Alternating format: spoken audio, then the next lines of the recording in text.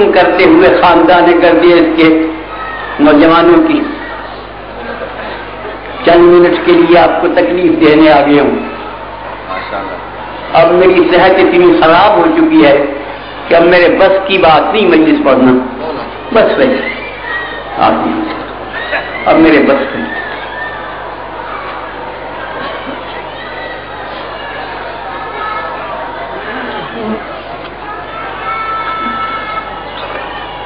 ये दुनिया की पुरानी आदत है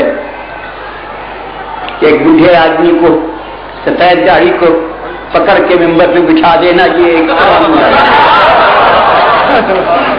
कोई नई बात नहीं है।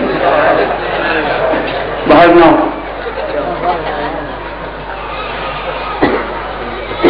अगर मैं ठीक बात कहूँ तो सुन लेना, गलत बात कहूँ तो माफ़ कर देना और क्या मैं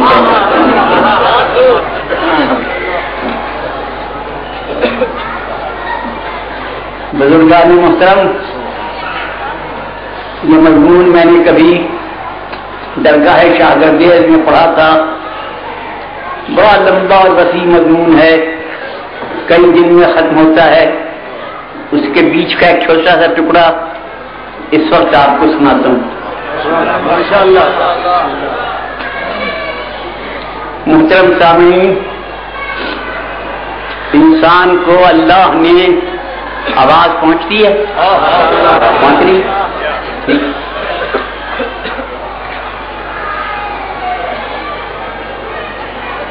जो हजरात दूर बैठे हैं, वो तो मुझे नज़र भी नहीं आते। अल्लाह जाने उन तक आवाज़ पहुँचती है या नहीं। खैर, उनका अल्लाह मालिक है। पास बैठने वाले अगर समझ लें तो सब समझ लेते खुदा करे आप सुन लें अच्छी तरह। बाकी अल्लाह मालिक है। तो बुजुर्गान मोहतरम, अल्लाह ने इंसान को इतनी नेमतें दी हैं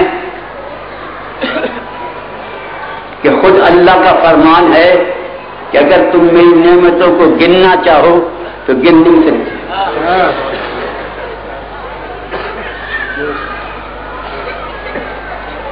कितनी नेमती अल्लाह ने दी है कि अगर इंसान गिनना चाहे जो पलक झपकती है, वो एक नेमत। जो सांस आता है, नेमत। जो अंदर जाता है, नेमत। अब किसी में हिम्मत है कि सांस गिने कितने आए पलक गिने कितनी झपकी। गिन। अल्लाह की नेमतों को गिन नहीं ठीक है? अल्लाह की नेमतों की गिनती नहीं ठीक है? ये हमारा ईमान है कि अल्लाह की नेमतें गिनी नहीं जा सकती गिनती नहीं हो। सकती और उधर मौली साहिबान हमें ये कहते हैं कि कयामत में अल्लाह नेमतों का हिसाब लेगा। डर लगता है बड़ा तोबा तोबा तोबा, क्या बनेगा? जब नेमतों का हिसाब लेगा। मैंने जो सोचा है वो मैं आपको बता दूँ कि मुझे अगर अल्लाह ने बुलाया नेमतों का हिसाब लेने के लिए तो मैं कहूँगा, जनाब, किस चीज़ का हिसाब? कि नेमतों का। कि नेमतों को तो हम गिन ही नहीं सके, और जहाँ गिनती न हो, वहाँ हिसाब कैसा? आज तक दुनिया में कोई बेगिनती का हिसाब नहीं बना। जहाँ गिनती ही न हो सके, वहाँ हिसाब कैसा?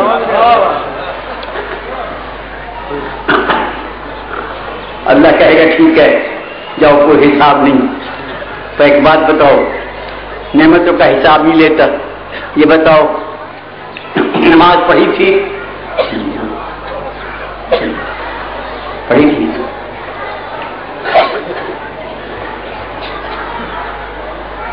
सुबह को उठे थे कि किबला सच्ची बात यह है कि नींद हो गरम बिस्तर था, सुबह का वक्त था, नींद आई। बड़े गुस्से से कहेगा अल्लाह क्यों नहीं उठे? जनाब, आप कभी सोए तो पता चले नींद क्या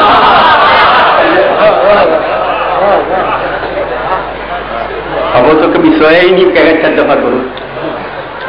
जोहर अचर भी पढ़ा था कि किबला बाल बच्चों के लिए रोजी कमा रहा था। दुकान पे और कहीं और कहीं उस वक्त मुझे कहाँ फुर्सत थी क्यों नहीं फुर्सत थी? कि आपके बाल बच्चे हों तो पता चले।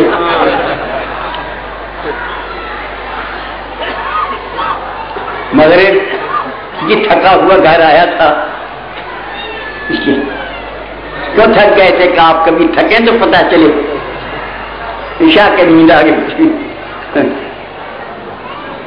ऐसा जवाब है मेरे पास हर बात का, अगर अल्लाह सामने आ गया। खुदा करे अल्लाह खुद सामने आ जाए। ऐसा जवाब है, हर बात का कि लुत्फ आ जाएगा अल्लाह को। वो भी हंस के कह देगा, दफ़ा करो इसे। जैसे जाओ मियाँ अपने घर चला जाओ। मगर अल्लाह ने इंतज़ाम ये किया है कि न यहाँ सामने आया, न वहाँ सामने आए। जिन्हें यहाँ सामने किया था, उन्हें ही वहाँ सामने कर देगा। उनके सामने ये बात नहीं चलेगी कि नींद क्यों आई थी, रोजी क्यों कमाई थी। मेरे मोहतरम भाइयों जो बंदों की हुज्जतों का अल्लाह की तरफ़ से जवाब दे दें उन्हीं को हजतुल्लाह कहते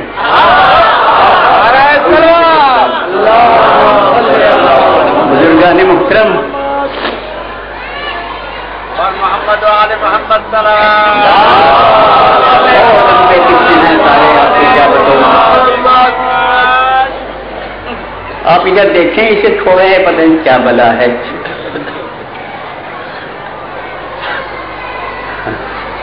तो मोहतरम बुज़ुर्गों, बेशुमार नियमतें हैं की। इनको हम गिन नहीं सकते, इनको हम शुमार नहीं कर सकते। इतनी नियमतें अगर मैं इस वक्त नियमतों का कुछ ज़िक्र करना शुरू करूँ तो ये ज़िक्र खत्म नहीं होता। इतनी नियमतें हैं।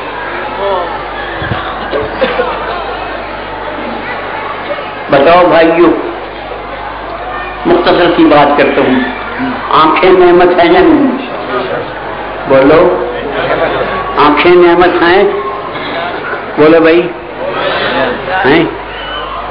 अल्लाह ने इस नेमत की ये कदर की है, ये इंतज़ाम किया है कि नूर बनाया।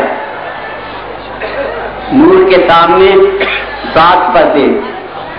इसको ढेला कहते हैं अब। ये सात पर्दे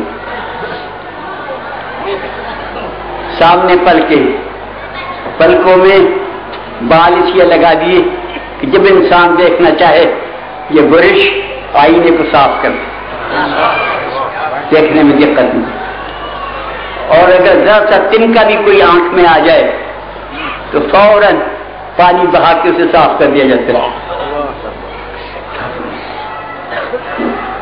फिर एक एक आँख में सात सात पर्दे, ताकि चौदह का अदद आँखों में रहे फिर दो आँखें बना अगर बड़ी सी एक बना देता जहाँ बीच में होती। तो क्या हरज था भाई? जिसे रेलवे इंजन के सामने रोशनी लगी हुई होती है। ऐसी एक होती बीच में बड़ी सी। तो क्या हरज था? दो बनाओ। अगर एक जाती रहे किसी हादसे से तो दूसरी से देख ले। अगर एक ही होती तो क्या होता? जाती रहती तो बेकार हो जाती। या अल्लाह क्या बात थी? आँख जाती रहे जाने दी हम उनकी नाक से देख लेंगे। तो भाई नाक से देख सकते? हैं देख सकते नाक सारी उम्र गुजर गई इस नाक की। आँख की सोहबत में रहते रहते, उधर आँख की जगह नहीं आती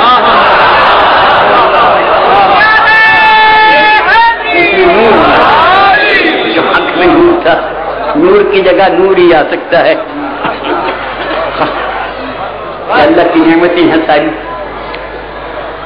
ज़ुबान नेमत। अगर ज़ुबान की नेमत न होती तो मुझे यहाँ किसने बिठाना? था जबान नेमत। फिर जबान को अल्लाह ने लाल रंग का बनाया। इस लाल रंग वाली को मकान के अंदर रखा। सामने दांतों का कचहरा लगाया, होंठों का फाटक लगाया। और कहा, देखो, ये मलका है ज़ुबान। ये घर के अंदर रहे तो ठीक है मलका। इसलिए मैंने इंतज़ाम किया है। अगर ये बेजा घर से निकल आएगी तो तबाही हो जाएगी। हो जाएगी, मुसीबत हो जाएगी। ये लाल रंग वाली घर में ही रहे तो ठीक है। बाहर नहीं निकल के आए अगला होगा। इंसान जब सुबह को सोता उठता है तो इंसान का सिर जबान के आगे हाथ जोड़ता है कि देखना, तू तो कह के अंदर चली जाएगी, मेरी शामत आए ख्याल रखना जबान भी नियमित है। गलत मुख्तसर ये कि इतनी नियमतें हैं उसकी गिन नहीं सकते। शुमार नहीं कर सकते। लातादाद नियमतें मगर भाइयों बुज़ुर्गों अजीजों बच्चों याद रखो सबसे बड़ी नेमत अल्लाह की ज़िंदगी नहीं दौलत नहीं हुकूमत नहीं सबसे बड़ी नेमत अल्लाह की नेमत इतमान अगर किसी को इतमान हासिल है तो उससे बढ़ के कोई नेमत नहीं। दौलत हो इतमान न हो दौलत पर वाले जान हो जाती हाँ, हुकूमत हो इतमान न हो, हुकूमत मुसीबत हो जाती है। बड़ी अच्छी सेहत हो, पहलवान हो इतमान न हो, सेहत मुसीबत हो जाती है। सबसे बड़ी नेमत जो है, वो नेमत इतमान है। बताओ भाई, अगर मजलिस सुननी है तो मैं सुनने से काम नहीं चलेगा इतमान से सुनो तो लुत्फ आएगा। नेमत इतमान पढ़ने वाला इतमान से पढ़े तो लुत्फ आएगा। जब तक नेमत इतमान हासिल न हो, कोई नेमत नेमत नहीं। और इतमान की नेमत किस तरह हासिल होती है? उसके लिए अल्लाह फरमाता है, अला बिजिक्रिल्लाह है तत्मईनुल अल्लाह की याद से दिल में इतमान पैदा हो और कोई ज़रिया इतमान का नहीं। अल्लाह की याद से। इतमान पैदा सुन रहे हो भाई मेरी बात को? सुन रहे हो? पता नहीं सुन रहे अल्लाह की याद से इतमान पैदा हो।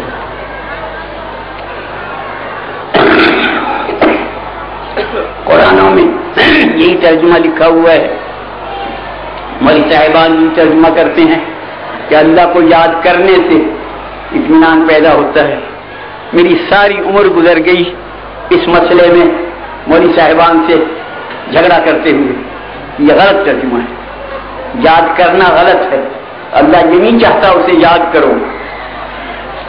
याद करो मैं क्या लुत्फ है? सुबह को उठे कि या अल्लाह, और बस खत्म, ये याद करो तो हो। गया साल भर में ईद की नमाज़ पढ़ी, याद करो तो हो। गया याद करो, नहीं चाहता अल्लाह।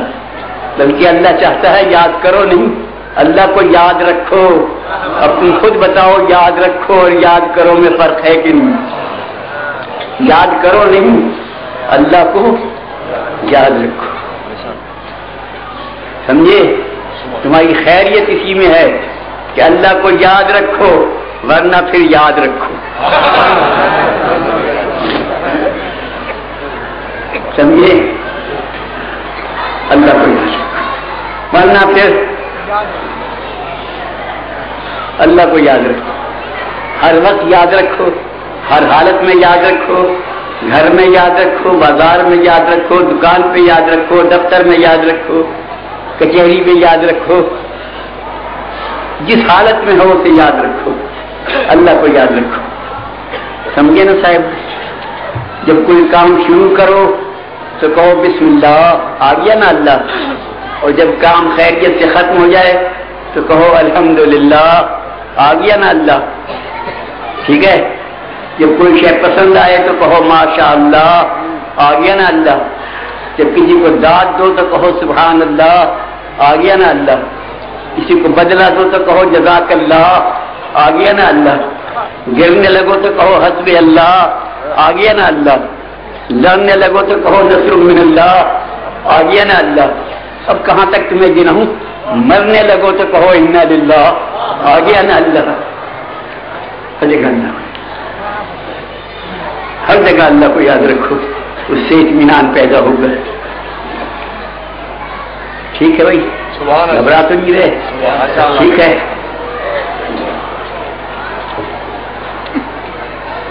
अल्लाह को याद रखना आसान भी है और मुश्किल भी है। दो मौकों पे अल्लाह को याद रखना बड़ा मुश्किल है। एक ऐश में, एक तैश में। एक जब ऐश का आलम हो, अल्लाह याद भी रहे और जब तैश हो, पूरा गुस्सा, दो आलमों में अल्लाह याद भी रहे एक ऐश में, एक तैश और अगर मौत सामने आ जाए, फिर भी अल्लाह याद भी रहे इंसान घबरा जाता परेशान। मगर जिन्हें अल्लाह याद हो, उन्हें मौत का कोई डर नहीं होता। वो नहीं घबराते ये लंबा मजमून मैंने समेट दिया, क्योंकि मेरे बस का नहीं सारा मजमून सुनाना। आप ही ईमान से बताएँ, एक घर है। उस घर में दो आदमी हैं। एक का सिन तिरपन साल है, एक का सिन उन्नीस साल है। तवज्जो है ना उनमें अब जीने के दिन किसके हैं उन्नीस साल वाले की? ज़िंदगी किसे चाहिए उन्नीस साल वाले को? अल्लाह फ़िक्र उम्र किसकी है उन्नीस साल वाले की? ऐश के जमाना किसका है उन्नीस साल वाले का? तिरपन साल वाला ज़िंदगी पूरी कर चुका। बड़ा तजर्बेकार हो गया। हर शख्स से वाकिफ हो गया। रात का वक्त।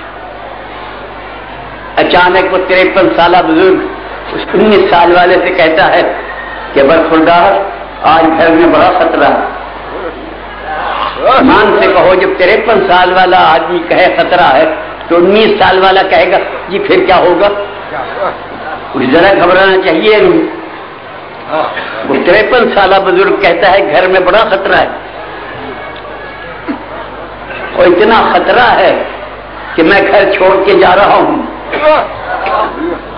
समझे आप? तिरपन साल बुज़ुर्ग कहता है खतरा इतना है कि मैं घर छोड़ के जा रहा हूँ। और उन्नीस साल वाले को कहता है कि तुम तुम यहीं रहो, क्यों खतरा है? अगर वो उन्नीस साल कह दे कि मैं तो नहीं रहता, खतरा जो है तो कोई दुनिया का अक्लमंद इंसान उसके इनकार को बुरा नहीं कह सकता तो कह सकता था मैं तो नहीं कहता जनाब, आप जा रहे हैं तो मैं भी जाऊँगा। मगर दुनिया हैरान हो गई। जबकि उन्नीस साल ने कहा कि तिबला खतरा है कि हाँ आप जा रहे हैं हाँ मैं यही हूँ हाँ यहीं पर हूँ रहने की बात नहीं। खतरा बहुत है।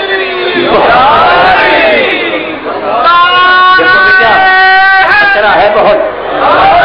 रहना। होशियार न रहना। क्यों खतरा है? सुना आपने? होशियार न रहना। क्यों खतरा है? चौकस न रहना। क्यों खतरा है? समझिए क्या करना बेखबर सो जाना, क्यों खतरा है? देखा आपने, अजीब बात है ये। नहीं गाड़ी में सोता हूँ, क्यों नहीं, वहाँ न सो। वहाँ खतरा नहीं। ना आओ, मेरे बिस्तर पे सो जहाँ खतरा है। वो बिस्तर पे लेट गया। जहाँ खतरा था। क्या करूँ, सो जाओ। क्यों? खतरा है। चादर तान के सो गया। देखो, चादर देख के पाँव फैलाना। सुबह तक करवट न लेना। ऐसे सोना याद रखे दुनिया। सो गया। घबराया नहीं, परेशान नहीं हुआ क्यों? अल्लाह के याद रखने से इतमान हासिल होता है। बड़ा इतमान से सो गया। ठीक है ना और तिरपन साल रसूल रसूल रहमत रवीन जिसका दुनिया पे रोग था, वो रात को खतरे में घर छोड़ के जा रहा है।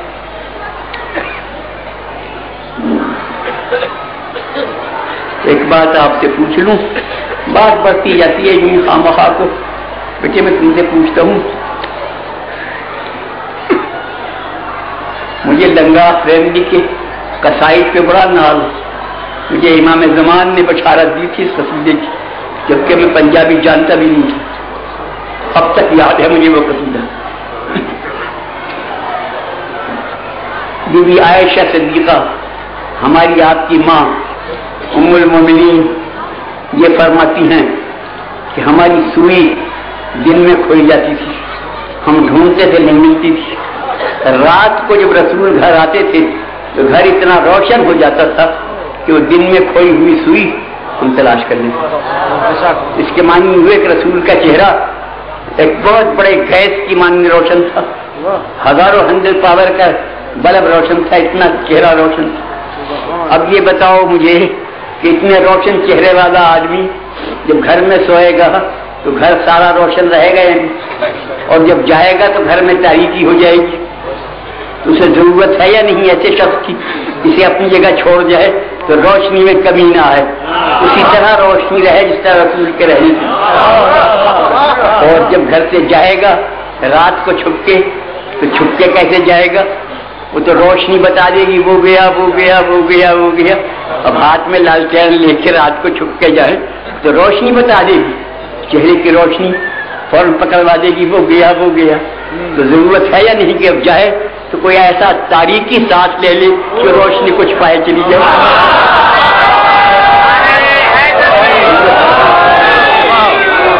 पता नहीं आपने कोई सोचा होगा, मुझे तो पता नहीं क्या बाहर चले गए। अब सोने वाला सो गया।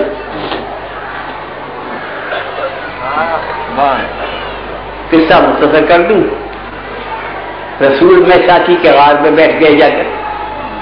और सोने वाला बिस्तर पे सोता रहा।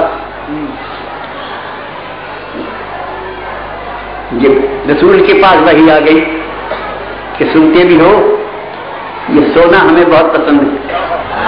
आज का सोना खरा सोना हमें बड़ा पसंद है। हमने तोल के देखा है। पूरा बारह ना तेरह हो सके ना ग्यारह रहे। ये सोना हम खरीदना चाहते हैं। तुम जरा दरमियान में आके कीमत तय करा दो। रसूल ने वहीं गार से बैठे बैठे आवाज़ दी। सोने वाले, ओ भाई सोने वाले, क्या है? ओ भाई सोने वाले किबला क्या है? ओ बाबा, जरा ठहर, बात करने दे। ओ भाई सोने वाले।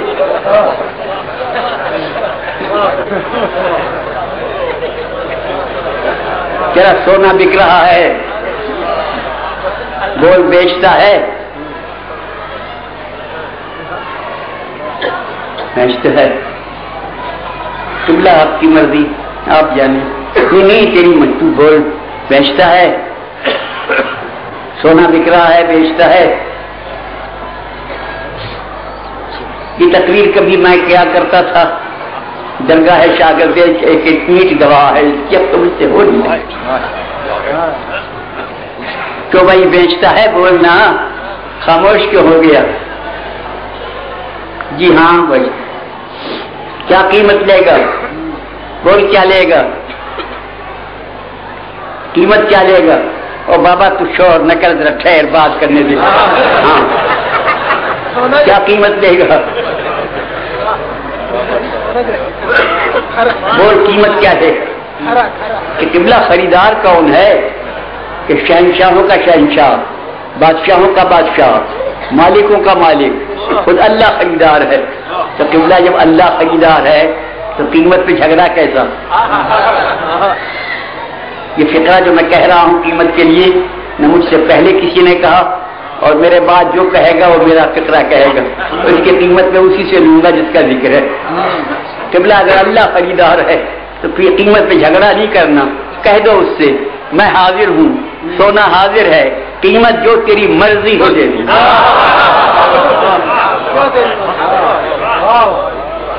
कीमत तेरी मर्ज़ी, जो तेरी मर्ज़ी हो देगी फैसला हो गया। मर्ज़ी कीमत हो गई। बेच दिया। किस्सा तवील है, किबला। किबला, ये मर्ज़ी कीमत। मुझे दिलवाएँ कि ना, कयामत में मिलेगी। उधार भी कयामत का। अब बड़े की बात थी, जिद कर ना सके। अच्छा कयामत में सही। पर सौदा पक्का करने के लिए बतौर बयाना अब भी कुछ मिल जाए। मैं कहा हाँ। मर्ज़ी तेरी कीमत है वो तो कयामत में मिलेगी। बयाने के तौर से जन्नत देते हैं। जन्नत उसकी कीमत नहीं थी।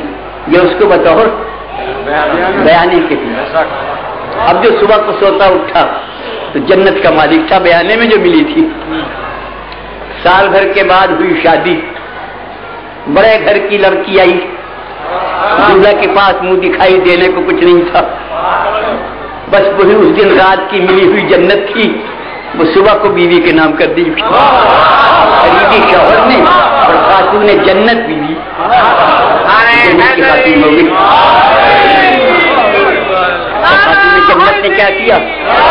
लड़ने के बाद भी तो बच्चे मालिक होंगे। उसने ज़िंदगी में बच्चों के नाम कर दी। रसूल ने रजिस्ट्री कर दी। रजिस्ट्री की इबारत थी। अल हसन अल हुसैन सैयदा शबाब जन्नत।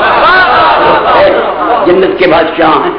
बाप ने खरीदी माँ खातून बनी बेटे बादशाह बन गए। की तो है ना हुजूर?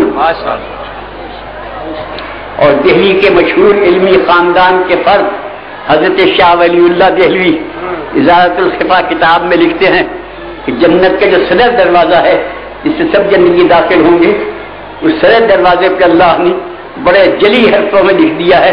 मोहम्मद अली फातिमा हसन हुसैन। ये मालिकों के नाम है जो लिखे हुए। अब मुझे बताओ चलोगे जन्नत? तुम्हें जाना है जन्नत? जाओगे ना? बोलो।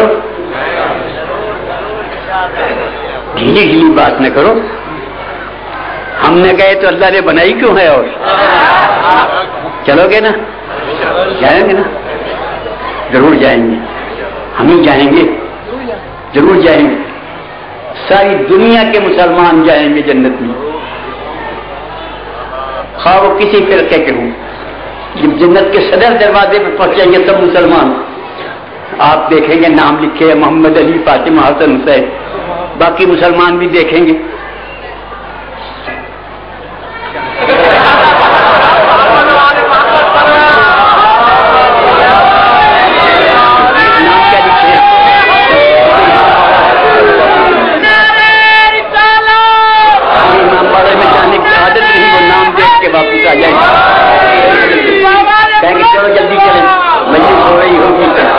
तस्वीरें पढ़ रहा होगा जैदी पढ़ रहा होगा। चलो जल्दी चले।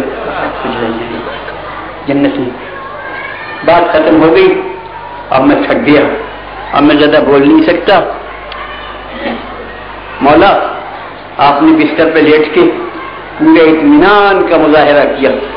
हम आपके अदना गुलाम हैं। आपके इस इतमान पे हमारी जाने कुर्बान। सुबहान अल्लाह।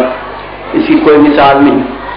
मगर मौला हम पूरी गुस्ताखी की माफ़ी मांगते हुए बड़े अदब से अर्ज़ करते हैं कि किमला बिछे हुए बिस्तर पर शाम को खाना खा के पानी पी के अपने घर के अंदर सो जाना इत्मीनान से।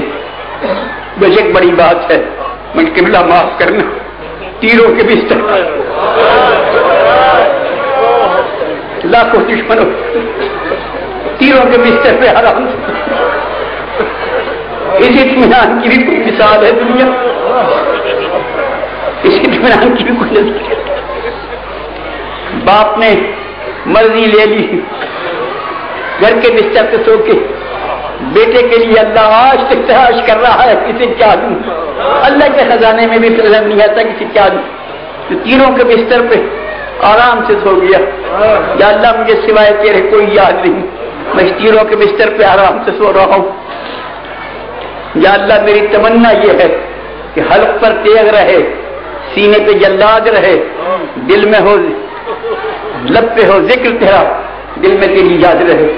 ऐसा इंसान भी कोई दुनिया में आए, अल्लाह ने कहा कि नहीं पढ़े इतमान से सोने वाले तीरों के बिस्तर पर, सैकड़ों जख्मों की हालत में, और तो कुछ मेरे पास है नहीं, बाप को मर्ज़ी दी थी। तुझे मैं खुद अपने आप को देता हूँ। अब तू- मेरा और मैं तेरा। तूने मेरा ज़िक्र किया, मैं तेरा ज़िक्र करूँगा। तूने मेरे ज़िक्र में जान दे दी, मैं तेरे ज़िक्र को ज़िंदा रखूँगा। अब उस इंसान का ज़िक्र अल्लाह ज़िंदा रखे हुए है ज़िक्र। किसी को दुनिया में इतने ज़िक्र बताओ किसी के किसी रसूल के, नबी के, बादशाह के शहशाह के, किसी के। इतने जाकिर किसी को नसीब नहीं हुए। इतने दरबार दुनिया में किसी के नहीं लगे। इतने घर किसी के नहीं बने। अगर आज एक लाख चौबीस हज़ार पैम्बर अपनी उम्मतों समेत आ जाए, सारे अपनी अपनी उम्मतों को मिली हैं तो हुसैन के पास इतने घर हैं कि सबको ठहरा सकता है। इतने लंगर हैं कि सबको खाना खिला सकता है? इतनी सबीलें हैं कि सबको पानी पिला सकता है? इतने वॉलंटियर हैं कि सबकी खिदमत करा सकता है? और अगर हुसैन अपने सारे दीवानों को लेकर आ जाए, किसी नबी के पास?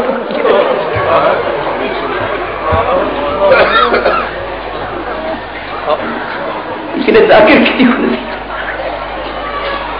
इसलिए दरबार किसी के नहीं। खुदा बंद आलम, आप लोगों को बड़ा खुशनसीब बनाया है अल्लाह ने आपको क्या हुसैन के दरबारी हैं। हुसैन के दरबार में आते हैं। बड़ा मेवे से दरबार है और दरबारी बड़ा खुशनसीब है। अल्लाह इन मजलिसों को कबूल फरमाए। अल्लाह इस दरगाह को कयामत से खबा दे खुदा खानदान टाइगर देश की इज़्ज़त आबरू है।